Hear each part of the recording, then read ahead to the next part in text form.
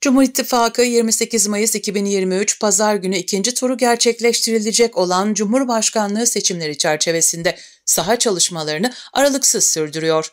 AK Parti, MHP, Yeniden Refah Partisi ve DSP il başkanları Cumhurbaşkanlığı ikinci tur seçim sürecinde gezilmedik ilçe, belde, mahalle ve sokak bırakmadan istikrarın sürmesi için vatandaşlarla el ele, kol kola, omuz omuza Türkiye yüzyılına ilerliyor. Heyet Yılca ilçesini ziyaret ederek Yılca Belediye Başkanı Rasim Çam ve AK Parti ilçe başkanı Dursun Albayrak'ın ev sahipliğinde beraberlerinde Düzce Milletvekili Ercan Öztürk, AK Parti İl Gençlik Kolları Başkanı Oğuzhan Küçük ve İl Genel Meclis üyeleriyle birlikte vatandaşlarla bir araya geldi. İlçe merkezinde bulunan esnaf ve vatandaşlarla ayaküstü sohbet eden ve Cumhurbaşkanlığı ikinci tur seçimlerinde 14 Mayıs seçimlerinde Düzce'den Cumhurbaşkanı'na en yüksek oyun çıktığı Yığılca'da yeni bir rekor kırmak için Yığılcalıların desteklerini istedi. Gün boyu süren ziyaretlerde Yığılcalı vatandaşlar tarafından büyük bir coşku ve teveccühle karşılanan Cumhur İttifakı heyeti Yığılca'nın Türkiye 100 yılına yürüyüşte kendisine yakışanı yapacaklarından emin olduklarını da paylaştı.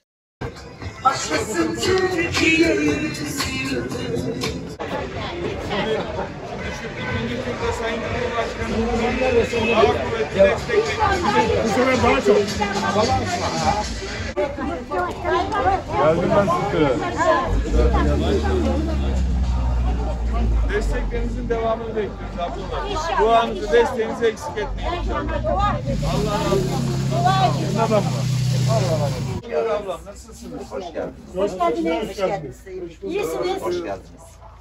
Hayırlı haberiniz olsun. Sağ olun. Milletvekilimiz Ercan teşekkür ederim. İttifakının başkanlarıyla birlikte buraya geldik. Biz zaten sizden içimiz dışımız sizden ya. Bizde, bizde değişmek yok. Boy boy posterleriniz var benim evimde.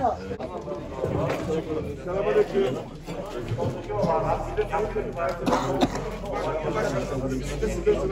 Nasılsınız? Sayın Kuvvetli Başkanım hayırlı olsun.